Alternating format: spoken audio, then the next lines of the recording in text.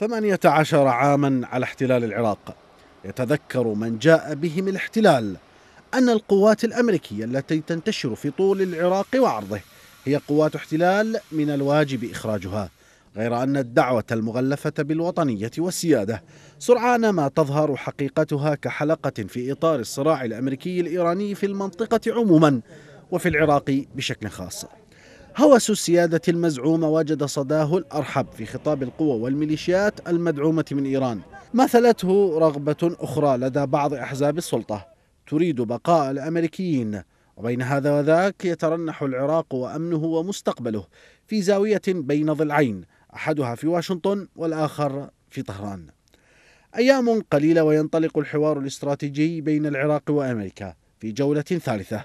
تقول عنها بعض الأحزاب إنها حاسمة. إذ يتحدث النائب عن تحالف الفتح قاطع ركابي عن عدة محاور أساسية ستناقش خلال الاجتماعات. أبرزها إخراج القوات الأمريكية من العراق بالإضافة إلى الكثير من القضايا المتعلقة بالأمن والاقتصاد والتعليم والزراعة والكهرباء والنفط. بالتوازي مع ذلك هناك ضغوط سياسية تمارسها القوى الحليفة لإيران لفرض أجندتها في الحوار الاستراتيجي والذي من المفترض أن ينطلق الأربعاء.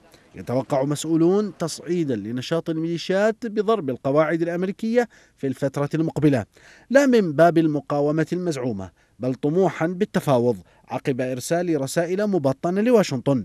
تقول لها الميليشيات إنها الحاكم الفعلي في العراق. قد لا تحقق تلك الهجمات الهدف المرجو منها ما يدفع الميليشيات لسلوك أكثر تأثيرا من نزولها في الشوارع قبل أيام. بينما لا يتوقع من الإدارة الأمريكية الجديدة اتخاذ موقف واضح من المستجدات في العراق لا سيما أن جل تصريحات البيت الأبيض امتازت بالضبابية والعموم وتجنب المواضيع الشائكة.